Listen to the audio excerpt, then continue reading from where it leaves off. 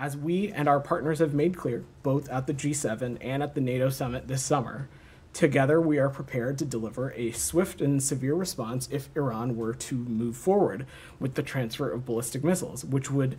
in our view, uh, represent a dramatic escalation in Iran's support for Russia's war of aggression against Ukraine. Uh, Iranian officials also continue to deny providing any UAVs to Russia when evidence is plain for the world to see.